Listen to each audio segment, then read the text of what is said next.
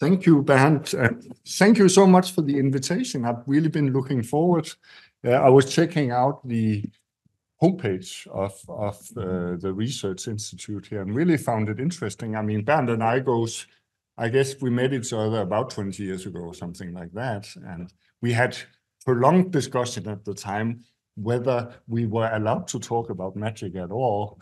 I mean, Dan at the time was an ardent opponent, and I was the ardent uh, defender of using the concept. I think now we are probably approaching each other uh, more in terms of this. So in the um, in the abstract I sent you, I was uh, maybe placing a bit more emphasis on this terminological discussion. I'll touch a bit upon it in the beginning, but I'd rather actually spend a bit more time on trying to explain to you and show you how I kind of connect my older work and and uh, the idea of these kind of basic cognitive operations in terms of why magic is around with with this new approach, which uh, is more about why uh, certain social formations stabilize at particular levels of complexity and and what the role of, in particular, ritual is there. But then I'll focus on what magic seems to be doing in that. So that's why I call it as a social mediation. So uh, the kind of keyword there is that I believe magic is doing something that relates family levels of the family with levels of the community. And it's that potential conflict that magic seems to have a kind of pivotal function in in negotiating. But I just uh, sent around the book uh, as Bernd mentioned. Um, it's free, it's open access um, for people if they want to. There's interesting artwork by an Austrian uh, artist who put herself in a life-size Petri dish and then grew her bionic bacteria on it. So you can study how that develops over time in the book. Okay, so my background, I won't say more more about it because Bernd did it uh, Ben did it so well. Uh, so I'll just uh, skip on to this idea of the contentious concepts. And and this is not to reiterate my discussion with Bernd some years back, but more, I think, a general discussion in the humanities and the sign of the crisis of the humanities as I see it today. All our concepts seem to be under attack, both from within and from without. It goes for magic, it goes for religion, and it also actually goes for culture. I mean, the concept of culture is actually, even though it's been gaining prominence in the public discourse as an eh, explanatory concept used to explain people's behavior. So we explain behavior by reference to culture, especially in multicultural societies. Øh, in academia, the star of culture is declining rapidly. A lot of people would actually uh, go without it. So you have both kind of attacks from the uh, kind of deconstructivist uh, critical theory saying that that this is just a kind of economic term and it's homogenizing particular types of behavior. And then you have the attack from from people in the cognitive sciences and and, and behavioral ecologists, etc., who basically say that cultures are epiphenomenal, that we can explain cultures just kind of the aggregate behavior of individual persons. And I think uh, both of these uh, approaches are wrong. So I have a discussion of that. And I basically think that we do not gain much from what I call terminological cleansing. That this idea of, of I think it's, I mean, even though we should perform genealogies about our concept and we should, of course, be critical about whether they are the right type of explanatory uh, instrument. There's two, I mean, in a certain sense, I think I'm a pragmatist in the sense I think if you do the criticism, come up with a better model. I think that's a prerogative of anybody. And I think uh, some of the problems that arises is a misconception of what models are. It's interesting that even I would argue, even postmodernists are actually implicit positivists in their understanding of what concepts are. Because what they tend to implicitly argue is that concepts should correspond directly to the world. And no concept corresponds to the world. Concepts are our models of the world by which we try to get a grasp on this thing out there, which we don't really following can't have any direct access to. I mean, we need concepts to understand the world. This is an old insight, I think, on what I mean. So in that sense, the cognitive model I'm laying out in order to understand uh, ritual is actually feeding back on science itself and what is the the the kind of uh, what science is really about as a social process of a lot of people trying to reach some kind of understanding if we talk about that, so so terms are not concepts. I mean, I think that's pretty important. I think there's a lot of the problem of, of a lot of the genealogical stuff is that it's arguing here's a concept. People meant this evil thing about it with it uh, 500 years ago. Therefore, we shouldn't use the concept today. And it's kind of what? I mean, we have mm, mm so many concepts that changed. Well, oh, sorry, so many terms that are eliciting different concepts today than they used to. So I think a better way ahead might be to to make much more explicit what we mean by these concepts and how what are the models underlying that. So this was actually the attempt I did in 2007 to do with with magic and see this as a kind of that there were I think Frazer was basically right that there are regularities in ritual behavior around the world that we should try to explain, even though I don't buy Frazer's explanation, ex except that he's kind of his taxonomy of, of different types of procedures seems to be pretty much on the mark. Uh, as uh, already remarked actually by Roman Jakobson, uh, the linguist, about 50 years ago. I think also there's something about the levels of description. I mean, you could criticize Frazer for saying that he used magic to explain stuff, and I'm not sure magic is a very kind of strong kind of explanatory term. Actually, I think it's more something we need to explain a bit like culture, actually. So there might be a change here in, in what we are actually aiming at. We can't say that, we can't explain much by saying it's culture, because what, I mean, that's actually a criticism often raised against Clifford Geertz, right? So religion is a cultural system. So, okay, you take one concept that are problematic religion, and then you elicit it by taking an even more problematic and broader ranging concept. It's kind of difficult what we mean by it. So we need also to to get a better explanation of what we mean by culture. So, so maybe magic is more kind of a synthetic category we use to delineate an area of the world, a phenomenological range of behaviors that seem to have some similarity that calls for an explanation. That's a kind of more pragmatic approach uh, to this. The last reason I think we should not kind of just give up terms too easily is that we forget that we are part of a web of science. We're also part of a, a science also relates to the rest of, of the world. I mean, I could go out and say, yeah, I'm not talking about magic. I'm talking about ritual efficacy. So if I talked about ritual efficacy, a lot of people would say, oh, you mean magic. And then we didn't gain anything because people are still evoking the same models.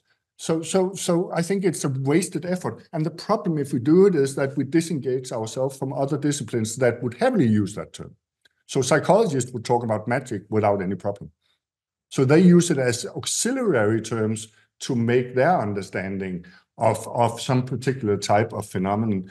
So, and we do that the same thing all the time, right? We talk about the state, or we talk about politics, or we talk about discourse, or whatever, and we can't define all these terms all the time because then we won't say anything. So we depend on other the terms of other disciplines, and other disciplines depends on our terms.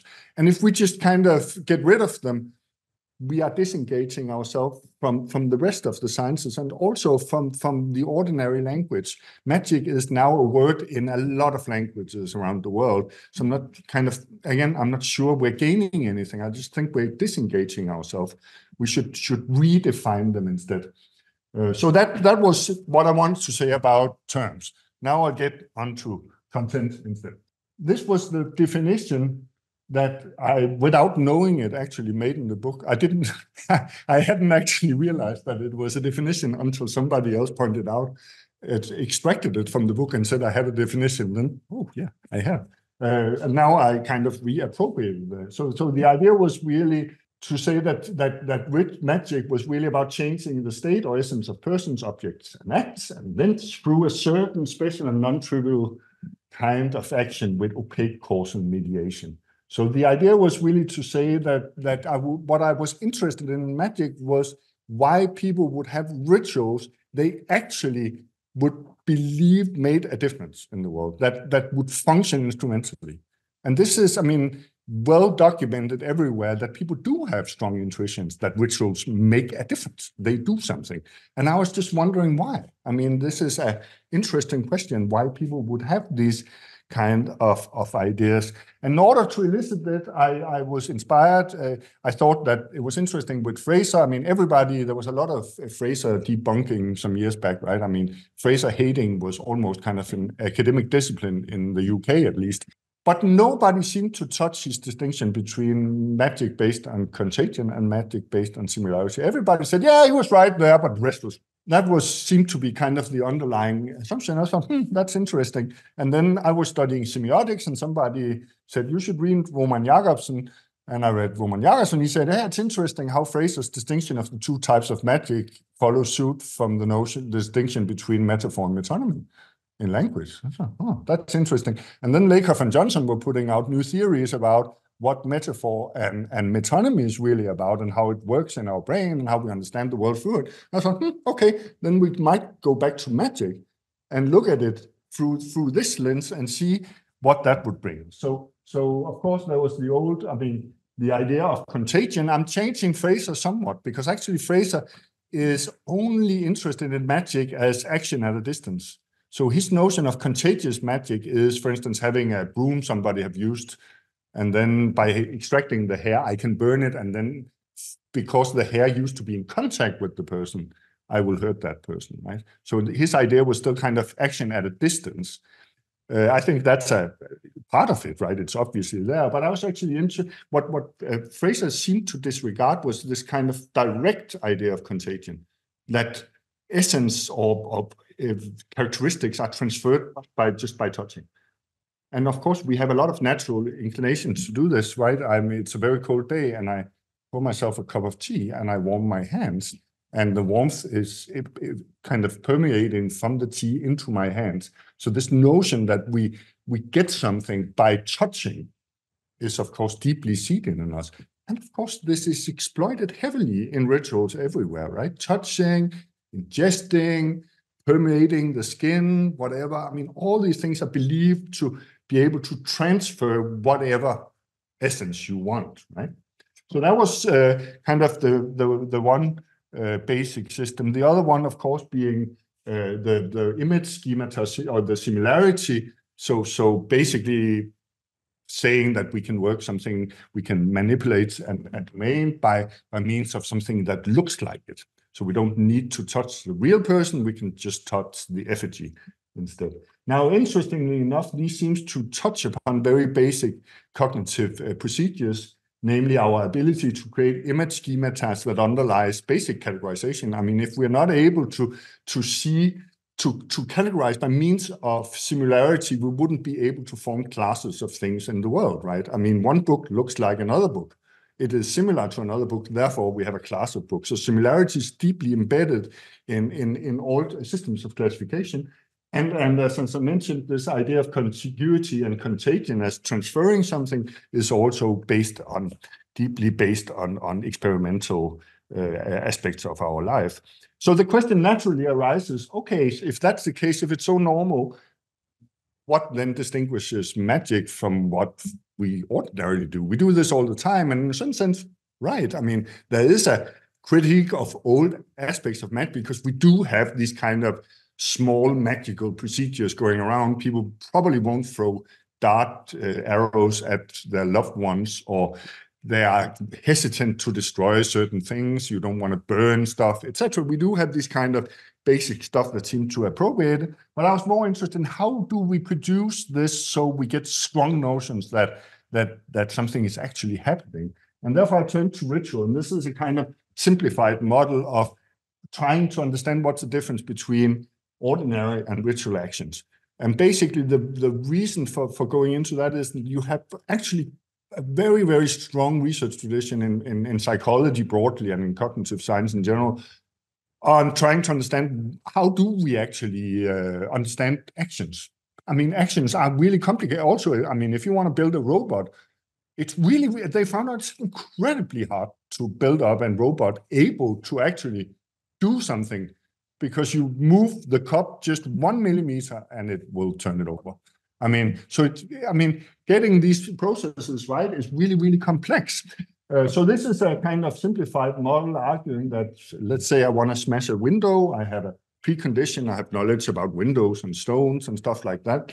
I have an idea about how this can relate to an action. I can throw the stone at the window, and I have a prognostic kind of prediction about that will smash the window. Now, look, if you look at that structure, it's pretty simple. If the rock fails to smash the window, I can kind of uh, correct my behavior, right? I can go back, I can throw harder, I can pick up a bigger rock, I can decide that my precondition was wrong, that this is actually Panzer glass or something like that, so I won't be able to smash it. I mean, you can all do, you have all these kind of feedback loops in which you correct your actions in order to have them work.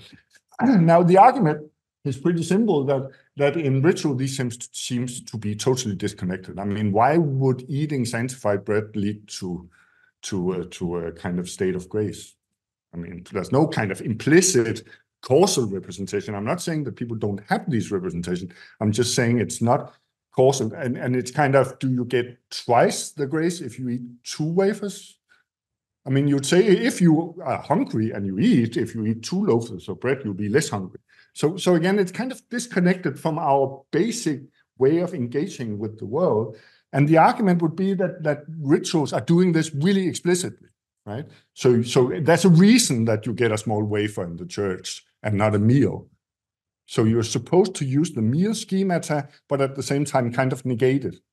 So you you that's what these uh, these uh, things are representing here. So so the argument, the very simple version of the argument is that this in itself will raise uh, our cognitive system will try to, to elicit other ways of understanding what's going on. And one way to do that would ex was exactly, and I mean, a lot of cognitive science have, have, uh, have indicated this is true, going for what is called weak causal cognition. And these are actually based on relations of similarity and contact. So when you don't have strong causal schemas, go for weak ones smart strategy, right? If things look the same, they might be the same. If things touch each other, they might transfer things because they do in a lot of cases. So it's a kind of safe default strategy. And this would be heightened whenever you negate the ordinary. So if I'm not getting full from eating this bread, what on earth is then going on? It must be doing something. My symbolist might say, yeah, but it's just a symbol. Okay, can you throw it over your left shoulder instead? Probably not. Why do I have to eat it if it's just a symbol? So, so, so it's eliciting all these kind of things. That doesn't mean, of course, that we don't have symbolic interpretations. But but try to ask. I mean, I'm using often uh, examples from from from Christian tradition, but you can take whatever religious tradition you want. Try to ask a, a, a kind of German uh, churchgoer what the uh, what what the uh, the Eucharist mean. They probably have, oh, I have to think. And the interesting thing is exactly you have to think. You have to remember back what were you told maybe in in in preparatory class for confirmation, or what does the catechism tell you, or what did the priest used to say? Of course, what anthropologists and historians of religion have usually done is ask the experts. But of course, they know they are the experts. But the interesting thing, a lot of people don't know. And they and then in, and in terms of cognitive science, you would say, hey, this is a slow process. You have to kind of remember you have to go into long-term memory to remember what had what does this bread actually mean. Whereas the weak causal cognition immediately pops up. You eat something that people have behaving very strangely about, which is probably therefore powerful, right? So you eat it. Now, this was then a stepping stone also for discussion of then what what how we could conceptualize the relation between magic and religion. I'm not a big fan of saying these are two distinct areas. I don't think. I mean, I already showed you pictures of of of a Eucharistic uh, ritual. I think. Uh, I mean, all rituals can probably more or less all rituals can be interpreted in a magical way. Uh, so, and I think there's a lot of fight within all institutionalized religions about kind of what I'm trying here is kind of getting rid of all this magic. Of course, Protestantism, it's really obviously there, but it's not only there. I mean, there's there are strong uh, anti-ritualistic trends in most institutionalized religion. And I think there's a very good reason for that, because the problem is if you just put it up as a kind of a, a, a kind of uh, conflict between efficacy and order or control, the problem is that the magical interpretation seems to go for perceptual features, they go for focus and purpose, they are context near. I'm supposed to gain something by eating this bread right now. It's ritual as an action. It's often related to charismatic authority. At least it, it can, eh, I mean, strong magical procedures will often point back to the person who's able to do the ritual. And if we look at it, it's often what's uh, related to small uh, social units. On the other hand, religion seems to be more and more focused on symbolic interpretation. Why? One of the reasons is that that I think Pascal Boyer pointed to that and in an interesting argument where he said that religions are also becoming brands and they need to expand. They have to homogenize their ritual procedures everywhere. So that so what happens in a Danish Lutheran church should be more or less the same in all the churches. So you need to control it, and you can't have people coming up for weird kind of blessings and and uh, to get bread and bring it back home and bury it under your threshold of your house, which people actually did in the Middle Ages, and the church were against it. Why? Because they lost control of what was going on. And I think another thing is you start to focus on, on meaning of the ritual instead of what the ritual does. So it's meaning something, it's context distance, and it's seen as a sign of loyalty. So it becomes a signal of who you belong to. And of course, all the institutionalized religion or the axial religion, or whatever we want to call them, have been been fighting about loyalty, right? Because they, uh, as soon as you have this institutionalization, you also have dissenting voices within, and you have splinter groups, etc., etc. So ritual is very often seen as a sign of loyalty about how you should do it, and it points therefore to institutional authority, and it's efficient in creating large social units, but at the cost of taking efficacy away from the ritual. So the more they become a symbol of loyalty, the less they do that's interesting in itself, but I'm not going to go there. In, in the book, I'm trying to argue why this is the reason why exoticism is so prevalent in magical procedures. The less you understand, the better, right? I mean, abracadabra, hocus pocus, all that stuff everywhere seems to, you have magical languages in most traditions. And I think the reason for that is that it's heightening our perception that this is something doing stuff. It's not something meaning some, something, right? So it's, it's highlighting this. But I would like to go on with the kind of bottom there, the, the, the distinction between small social units and large social units, and, and see how whether whether it's true that whether we can understand what magic is or these kind of magical rituals are doing in these small units and why they seem to be prevalent there. So, so this is kind of the new definition that is made for the abstract here, I think, because I had to try to think. So the idea was that we could look at magic as the behavioral mobilization of basic cognitive procedures, which is what I just described, to effect a change related to recurrent problems of what I call the nurture sphere of the extended family. And it's doing so by embedding these actions in ritualized behavioral patterns specified by or related to the sphere of the community. So, so what I'm trying to argue here is that, that humans congregate in, in social groupings of various sizes, right? We do in modern, I mean, we all do it all the time at different scales. We have a group here defined by building up a culture, right? I guess you guys are, I mean, that's what the research center is supposed to do, right? Over time, build up a culture of cooperation. You have common talks that you can all talk about after Christmas, saying, "Here was this weird guy from Aarhus talking about cognition," etc., uh, etc. Et I mean, all these things are building up. Kind of what I would say, I get back to it, is lowering our error signals.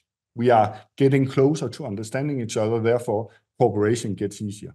Uh, we do that all the time. I'm interested in why would people go from extended families to communities? I mean, this is not obvious. Our chimpanzee cousins and bonobos don't. They stay in kin groups, and uh, and then the females just leave the group and join another group. So why would we do that? What's the advantage of doing it?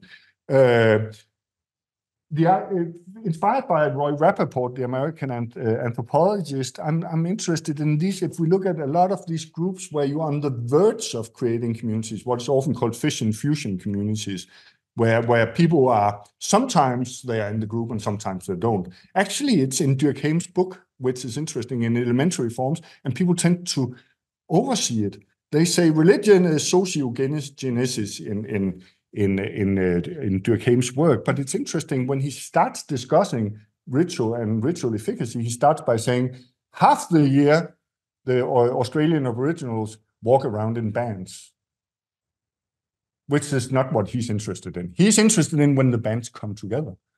that means most of the year they are not in the group. They are actually in another group, in a smaller group, which is often related to, to what I call the nurture sphere, this, this kinship-based group. And I'll get back to what that means. So, so I, the idea can be, could be unfolded like this, that, that ritual is a stipulated behavioral specification. So, so what we usually take for granted in ritual is that there's some kind of constitutive rule, rule of about how you are supposed to do the ritual, right? Ritual is a bit like playing chess. It's something, I mean, we decided that when you do these kind of thing, you you are playing chess, right? I mean, we can change the rule and then, but then it's a new game. You can, of course, we know rituals are changing over time, but the interesting thing is that people that performs them usually say they don't. So people are really interested in that the rituals should be done the right way. Why is this the case? Probably because it's very, very hard to see the effect of any rituals, right? The only way we can judge whether the ritual is successful is whether it it follows uh, our shared model of how the ritual should be done. I mean, that's the only, how can you tell that the Eucharist have been performed? Only by observing the action sequence, right? How can you see if somebody have made tea or coffee? Well, I can just take the thermo up there and see, hey, there's coffee. Somebody have made coffee. I don't need to see the procedure. So that's the difference between the ritual. Nobody can go down in the church late Sunday afternoon and say, hey, I know the, the, the Eucharist was performed here. How do you know? Only by, by kind of by, by habit, right? Uh, so, so stipulated behavior, we are agreeing upon what should be done.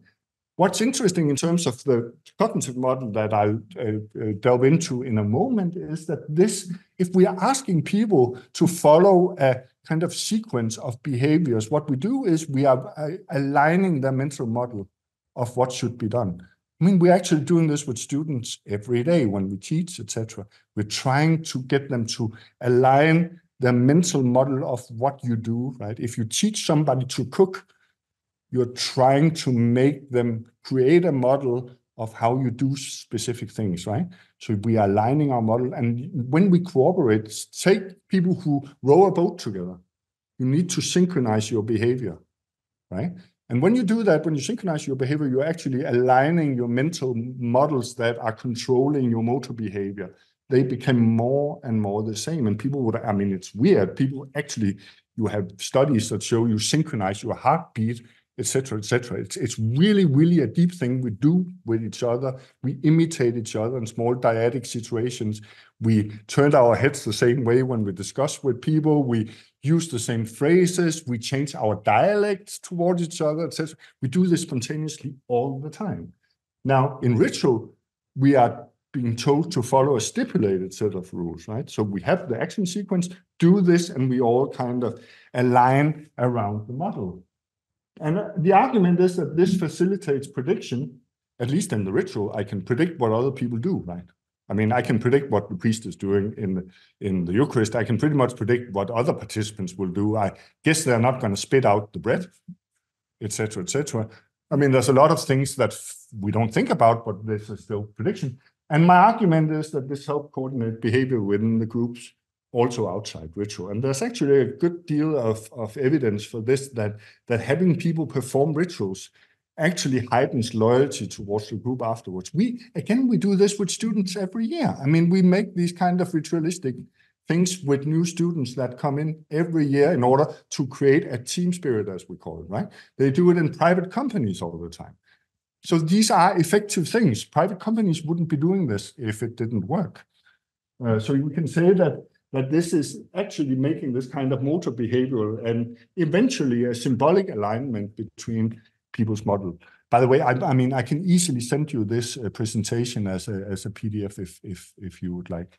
So what's the underlying social and cognitive models model of it? So here's a kind of really simplified uh, depiction of what I call a social interaction sphere.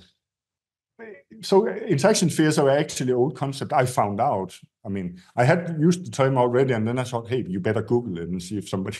And then I found out that uh, that archaeologists have been using it for kind of really dispersed behavior, uh, kind of patterns of ceramics and stuff like that.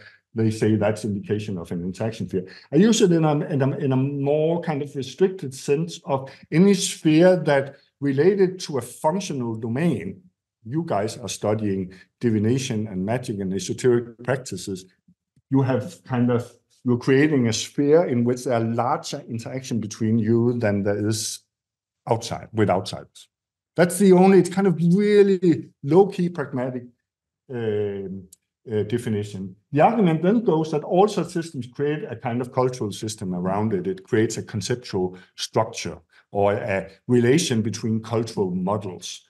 So of course, here we could say it's interesting how a research center do that when people come from around from different cultures. We we tend to uh, do it through again, we have rituals, we have tea, and then we have talks, and then we go to a restaurant, etc. We do all these kind of things in order to, to try to create this environment because we actually think something interesting going on. And what is often happening, what we aim at is having some kind of mutual alignment. That doesn't mean everybody has to agree. It doesn't mean that that we have identical uh, mental model. It just means that we are aligning our models to each other, and that makes coordination better. We all know that. If we work together with a colleague for 20 years, it's much easier writing a piece together than if you just met the person, right? You have to check so many things out. Uh, so this is basically the argument that this enhances uh, social coordination. And the way of trying to describe it is that each individual, of course, create their own conceptual system. No individuals are totally alike, but it takes part in the cultural system around, and it would be more similar to others within the system than to outsiders. Take a very simple example, language. I mean, we're all speaking within a language culture, language area, you're speaking more or less the same language. We also know that everyone speaks slightly different from anyone else. But we do know that it's still kind of within a sphere. We also know that this strong sphere is a quite new thing that came together with the nation states, but that's another discussion.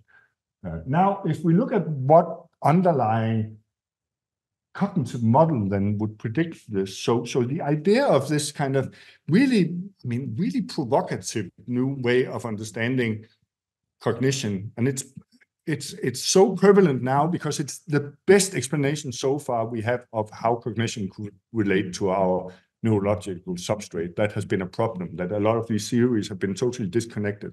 Cognitive theories have been computational and not really fitting very well to what we know about the brain. This one does, because what it does, it's it's it's arguing for a very parsimonious system.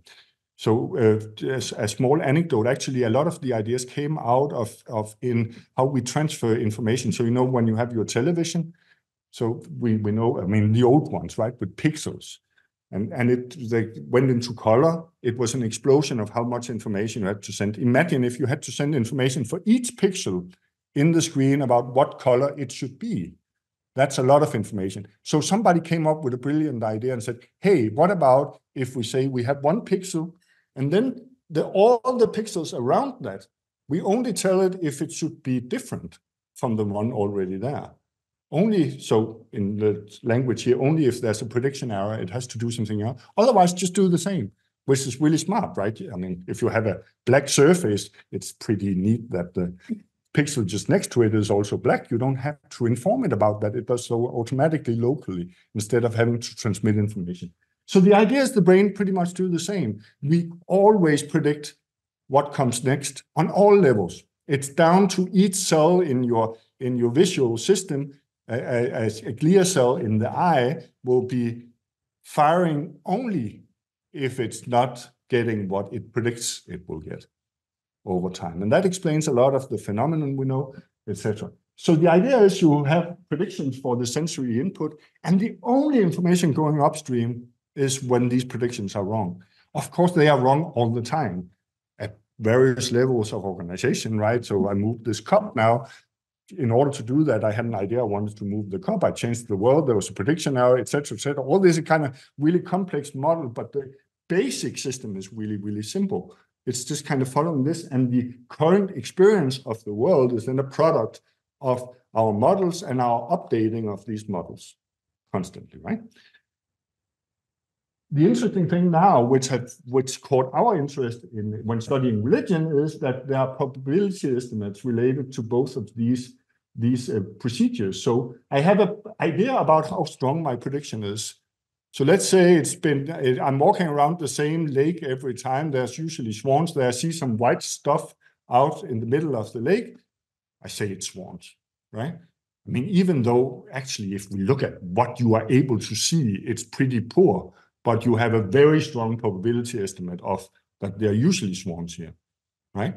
So even if there's something that didn't quite look like a swan, you're probably gonna give a low probability estimate to your error signal and say, it's just, I mean, it's just a light or something, right? So you downregulate the error signal. But you can also have the reverse. Let's say I'd walk around a lake in Africa where I've never been before. I would say, I better open my eyes, as we say, because I have really, really weak models of what I expect to see. So I'm really open for that my models might be wrong and I have to update them and ask people, what is that bird? It's not the swan I thought it was.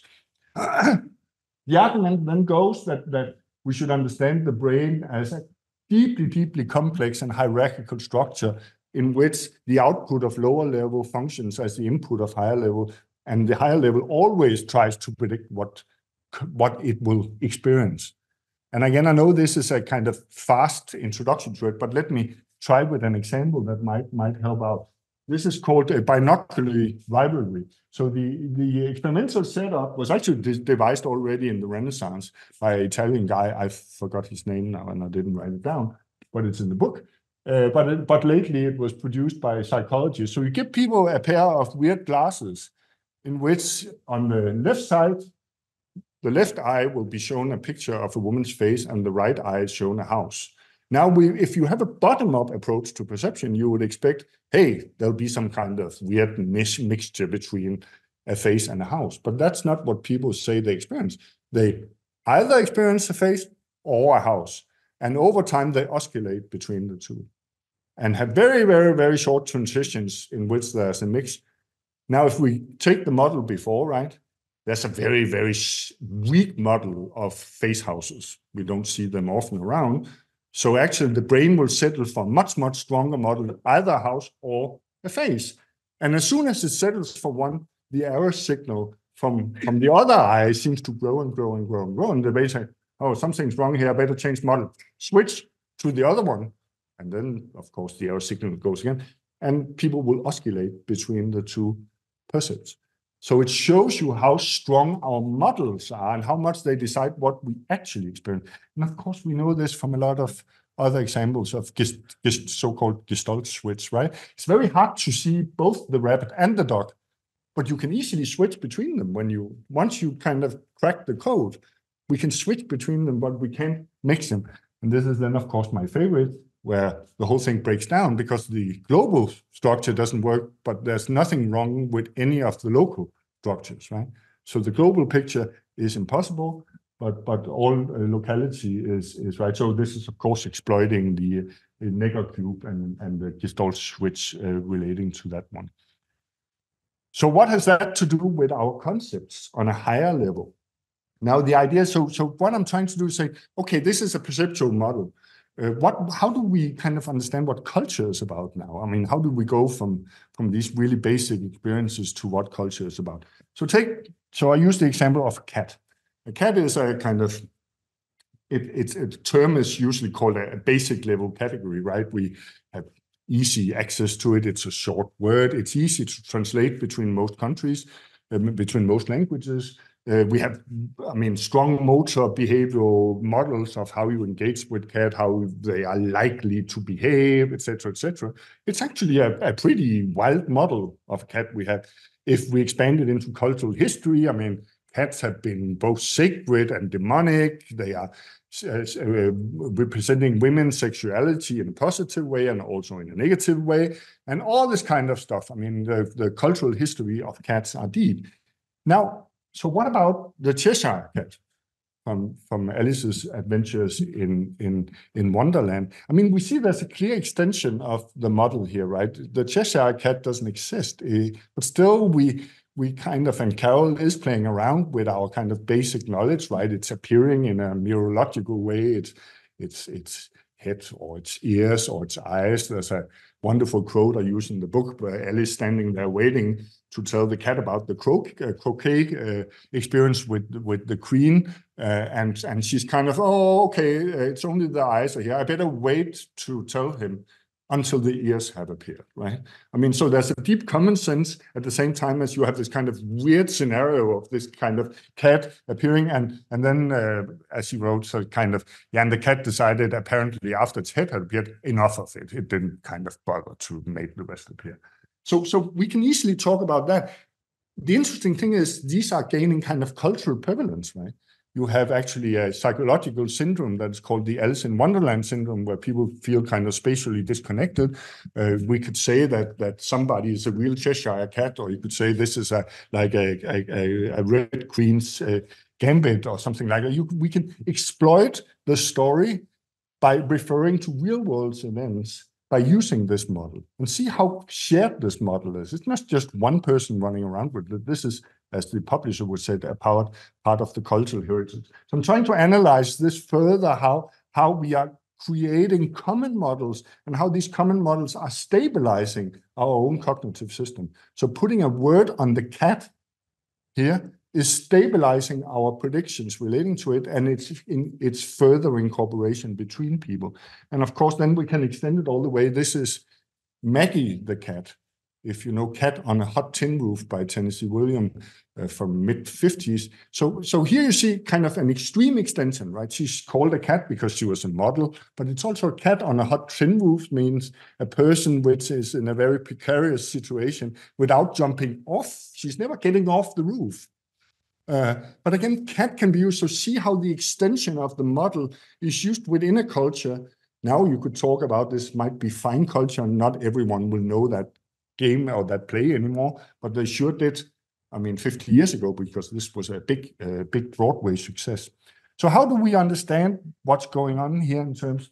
I'm returning to the model here, and then we can put in some some some action, right? That this is constantly developing. So we have predictions about what other people would say mean by a Cheshire cat, for instance. And if they then apparently mean something completely different, I either have to persuade them you are wrong, your model is wrong, or I have to change my model. But so we experience prediction error when our communication doesn't work, right? But imagine how much we tell each other all the time where we don't experience these kinds of errors. We are seamlessly integrating our models about how we make tea and who stands to one side, etc. I mean, and then we go to Britain and then we bump into people all the time because we're used to going to the right and not the left, right? So you have, of course, these these uh, structures of um, of, of uh, habits that comes with it. It helps us coordinate behavior, right, at all levels of interaction. So what has this to do with magic now? Okay, sorry for this detour, but it's it's sometimes necessary. So so I'm I'm uh, returning to to the old idea of uh, Marcel Mauss and Henri Hubert. I love finding these old pictures, right? Uh, I mean, he looks like a wild guy. Uh, uh, Mauss. I think he was actually. Um, but I mean, Mauss and Hubert, they argued that magic is the appropriation of mana or representation of force that emerges as a function of social interaction. So they argued, I mean, this idea of, of, sacredness and that things can be special is something we do when we congregate, right? It's a, it's a function of sociality. And then they said magic is kind of the e kind of anti-social appropriation of that force. And therefore, they were criticized for it, and they actually almost acknowledged it in the book. That problem is they almost end up equating, equating magic with sorcery. So they have no positive magic. It's really hard for them to, to get into their framework. It has to be kind of antisocial and individualistic. Uh, Durkheim, of course, in, in a certain sense, in the same uh, uh, position, right? So religion is what's bringing communities together, but as you said, there's no church of magic there are only clients, right? So it's individualized. Again, it's about individuals and not groups. And I think they are basically wrong because what, I mean, they are right in a number of senses, and I think they're kind of on the way. The problem is that uh, they disregard the magical rituals, have this kind of context near and pragmatic and efficacious aspect, and that they maybe are related to things that I would argue is not individualized. I think that's a kind of modernized way of thinking of it, but, but it's related to the family or to the nurture sphere. I mean, it's related to this kinship group, and that is where the problem is. So magic, I see it as active rituals aimed to reduce potential tension between two social spheres here, the nurture sphere and the community sphere. So let me try to explain what these spheres are about. The, so the reason I, I, ended up with this notion of the nurture sphere was I was looking into a lot of, there's a lot of research into how cooperation between humans uh, arise. Some of you probably heard about Michael Tomasello, which I think he's in Leipzig. Uh, he's worked extensively on this, and it's fascinating stuff. It's about how, I mean, kids are kind of, I mean, innately cooperative. I mean, you have a one-year-old toddler, and you have a, a Uh, a grown-up coming in with a lot of books and stuff, and, and the toddler would kind of spontaneously try to help. And it's amazing how this kind of interaction. So they're talking about kind of this dyadic stuff, right? That that that we are. It's about caregiving. So every child is brought into a family. It's a phatic communication. That was a concept I think Malinowski phrased once. It's kind of phatic communication as we know it from when we say nice weather today. It's not that we actually are talking about the weather, right? We are engaging each other. We are recognizing each other as persons, right? I mean, it's a, it's, I mean, at least I got very confused when Americans said, how are you? In the beginning, I thought I actually had to answer it until I found out that this was just kind of a greeting, right? It was not kind of, it wasn't a question at all. They didn't care less how I felt, really. it was actually pretty embarrassing. So what struck me when I got into the anthropological literature, it seemed to me that that I used the Hopi as example because Armin Geertz, that was in Aarhus, was was an expert in that. That even, uh, but also, I mean, in in uh, in Malinowski's work on the trobrianders and the Azande cases, very often it's actually the family that's the basic economic unit. Uh, they're the ones that grow the fields or hurt the the animals. They are the ones that uh, usually have most spreading of or kind of giving away of resources within the family. You might have exchange with the other families, that's not a question. But in a certain sense, it's the family that is the economic unit. And that's where, I mean, people grow into a basic loyalty with their family, right? We talk about blood is thicker than water, etc. We have all these sayings that points to it. Read Romeo and Julia, right? It's about one long story about loyalty to the clan or the family in contrast to loyalty towards the community. And it's the ontogenetic environment we all grow up in, at least as a normal. I mean, of course, we have other cases. This doesn't mean that you cannot have social arrangement in which children are brought up elsewhere. But I would argue it's actually one of the ways that the communities are trying to bolster themselves. So what is the problem for these spheres? Well, you have problem of marital fidelity. You have problems of procuring food, of course. You have problems of security, you have problems of fertility, you have problems of health, death, all this. You might be able to come up with other stuff that seems to belong mostly in that area. The argument, my argument would be, and this is a hypothesis, that most magic or magical rituals around the world are about these problems. Most divinations, I know that because I actually checked pretty much up on whatever I could find. Most divination that people attend to is about these problems. It's about whether I should take on this travel. Is it dangerous? Is my wife unfaithful to me? Uh, what will happen to our harvest this year? Etc. Etc. These are really the questions people are addressed. Why are they problematic from the community sphere's perspective? Because this indicates where you might have an unequal distribution of luck within a community. And if we know anything, we know what this produces, right? So let me, we make a thought experiment. You guys are sitting here, and I arbitrarily decide that half of you should have doubled your salary. That would probably piss off the other half pretty strongly, right? So why do they deserve that? So unequal distribution of luck, which happens everywhere. I mean, the harvest might fail on one lot and not the other, produces a lot of problems, right? One way to go about these problems is to embed them inside the community sphere. What's the community sphere interested in? Well, it's really a coalition of these families, right? So they are basically uh, search, uh, they are very good at protection. Uh, they are better at doing energy extraction. So that's the kind of uh, the stag hunt dilemma or the stag hunt game in economics, right? I mean, if we are five people, we can hunt a stag.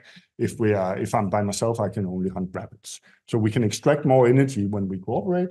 We can also store energy, which is an interesting thing, which also, of course, makes us uh, vulnerable to exploitation and raids. So we need protection. As soon as you have storage, you need, need to protect yourself we also uh, uh, symbolic communication also emerged at this level, right? You you don't have languages that are family specific. You probably don't develop languages until you start congregating in communities because you don't need them.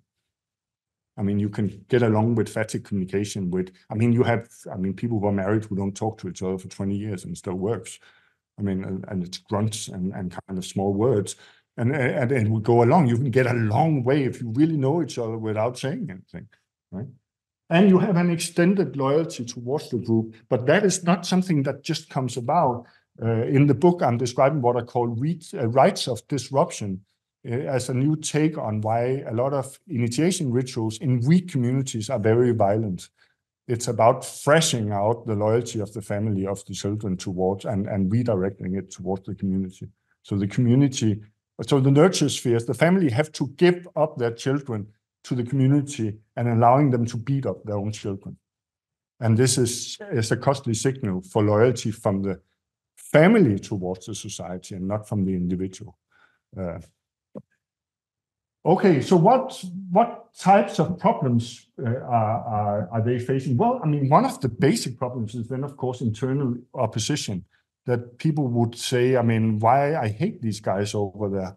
I mean, Romeo and Julia is breaking the, the city apart, right? This clan feud between two families. But we see this, I mean, study, Evans Pritchard's study of the. Uh, there's so many descriptions about the leopard skin priest who are really about reconciling different clans whenever there's been an accident or accidental death or something to prevent feuds from going on. So it's very much a prevention of internal distribution, and it's based on this uneven distribution of luck. Of course, there are external uh, enemies as well, and we have a problem of both loyalty and also of preservation of knowledge. We tend to forget. I think that was one of Malinowski's great insights that this is kind of actually, I mean, a small scale society of 150, 200, 500 people. It actually matters when people die because the knowledge is in people's brains, and that knowledge is gone when they're dead. So, how do we ensure transmission of knowledge?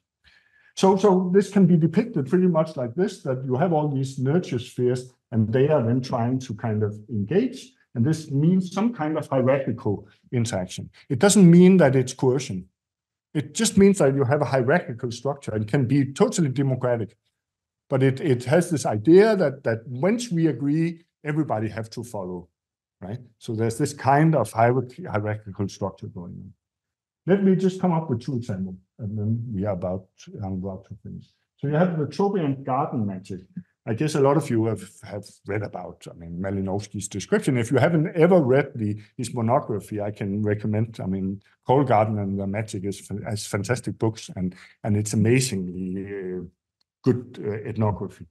Um, this is the garden magician. All these people are growing yams uh, in these in beautiful garden what I'm interested in here is is is I mean you could take a lot of the examples, but but what happens every year when you clear the field? So this is a slash burn agriculture. You you have um, uh, you have the allotment of space to the matrilineal families. So what you if I was married, my I would grow crops for my wife's brother. Actually, I would hand up all I made. So I better have a sister, right? So I get something from the other side.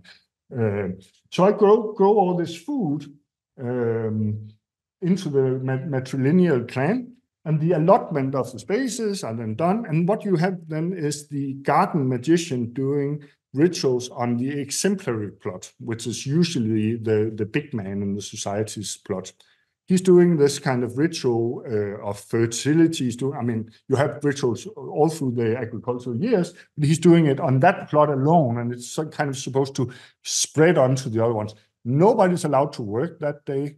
It's it's a purely ritual day, and it's in, it's actually strongly related to what you call a socio-circadian rhythm. I mean, a, the society's own temporal structure related to the agricultural years.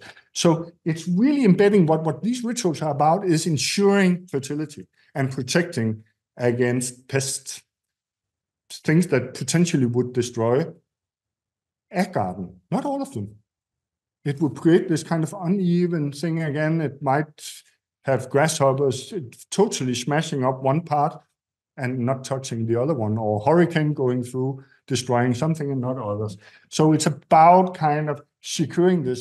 Look how all the anxieties produced that are related to the families are then kind of relocated into the community and is, is confirming the community conceptual structure, even though it might be disruptive. And I think that was one of Malinowski's insights as well, that, that all the anxieties produced needs to be kind of dealt with at a social level, because otherwise they become disruptive. If they're dealt with within, actually they can end up conforming or, or, or kind of uh, uh, undergirding the social structure, right? We all follow suit. We all do the ritual. Okay, so that could be called kind of an integrative aspect of ritual rites, integrating people together.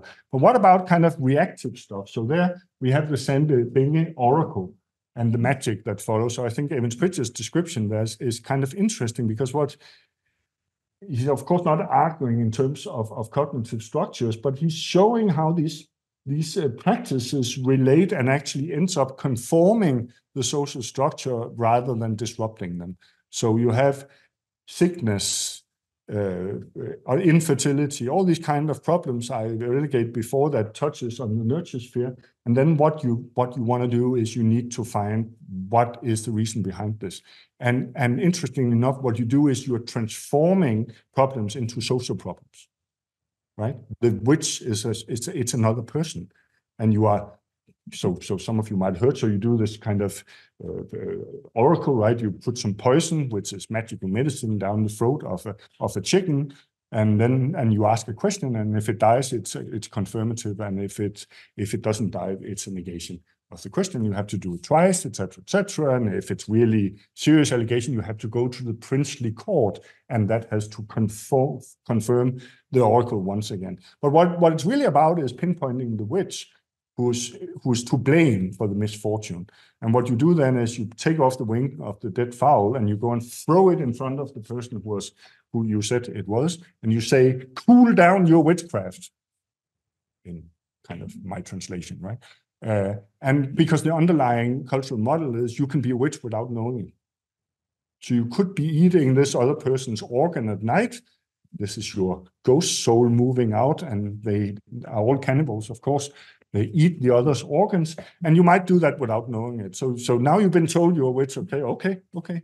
I relax. And look how self-confirmatory this is, because we know that 75% of all diseases go away by themselves. So in 75% of all these cases, it would be confirmed that this helps. He cooled down his witchcraft. Now I'm not sick anymore, right? So there's a kind of, so here you see another example where it's kind of reaction to something that happened. Shit, we had an accident, we are sick, we our field burnt down, whatever. You're transposing it into a social structure, a, a stipulated ritual argued by everyone. This is the right way to do it and the right way to understand it and the right way to treat it. And therefore, in a certain sense, your misfortune ends up confirming this community structure once again. And we also know from all these cases who is usually uh, uh, alleged of being witches are those who do not share. Those who are, do not put in resources into the communities and almost always those who are called witches. It's not the only one. You also have misfits, etc., etc. But it's very often people who are kind of on the fringes of community for one or another reason. So it's a very, very strong incentive at the same time to stay within the community structure because otherwise you're a witch. In, in, in the Hopi uh, language, a witch is called Kahopi, which means a non-human. Actually, because Hopi, of course, means human. Uh, so, but that's a, a generalized one. So I think this is about the last one. So what what what should we make of this? Because some of you might say, okay, now you studied a lot of indigenous people, and what does I mean? I know you guys are most interested in, in esoteric traditions, or more learned traditions, and and some of you are more, maybe more interested in what happens then when when societies get bigger, right? I mean, what happens when social groups get bigger? Because this is this is an interesting case, and actually, this are, is actually hypotheses that are generated based on the models you saw before. So what so what would happen there? At least it becomes, I think, a, a magic becomes a polemical concept because of struggle over loyalty and power. So we see what states are doing is if, if we look at the old empires and religions, they are really empires of communities. Uh, I mean, the, I mean, Romans, you might have a degree of integration, but most of the time you say, I mean, you can do whatever you want in your small community as long as you pay your tribute or your tax and you don't oppose the them. So don't uprise, don't do anything violent. You can keep your language, you can pray to your God. We couldn't care less. What about the Roman Catholic Church? Pretty much the same structure. A lot of rituals were going on in the in the villages that was not exactly something they liked in Rome, but they didn't give a shit. It was just farmers. I mean, what was important was what the monks were doing, what the elite was doing. It didn't. Nobody in the Middle Ages cared about what what uh, peasants in some community thought about God or the Trinity or whatever. So you so the argument would be you had a lot of this magic, witchcraft allegations, etc. All that was going on just on a local scale, and the church didn't care. But what happens at, at a certain time, you have early states. And when the states are, are consolidating, we get a competition for loyalty. And because uh, loyalty and the state is very, very often connected up with particular versions of a religion, and, and especially of the ritual expressions, right? So, so the, of course, the Treaty of Westphalen is, is is exemplary here. So everybody has to have the same religion as as the local prince or, or earl or whatever he was. You follow your your sovereign, right, in in your religious obligation. So suddenly, what you believe become actually a a costly signal of loyalty. Suddenly you are showing off who are you loyal to by your religious behavior. Oops, suddenly the magic that was going on in the community was actually a competition to the loyalty of the state. So suddenly all those the religions become connected to the state and and it is at the exact same time that people start making that you have an explosion of witchcraft allegations and trials that are brought into the stately sphere. And it's believed it's exactly argued to be kind of heresies. It's against the religion right? So it's it's so magic is becoming a polemical term because states see it as illicit ritual behavior that is consolidating communities that are potential conflict in terms of loyalty to the overarching structure. Um, so, so in that sense, the witchcraft case is caused by actually fundamentalism of early state religion. I mean, uh, uh, what we see at least in Europe. And again, this is a hypothesis. I'm interested in how it would work in, other instances of, of axial age religion and institutionalized religion. But I do think there are some of the same patterns, at least in India, uh, that you have this kind of fundamentalist. As soon as it gets connected to the political sphere, there's the idea that it has to govern every aspect of life suddenly. And it's not just uh, kind of uh, uh centralized around a holy centers. And that follows uh, also often a de-ritualization of, of religion. Maybe de-ritualization is a wrong word. What I mean by it is at least that the rituals are transformed into signs of loyalty rather than efficacious actions.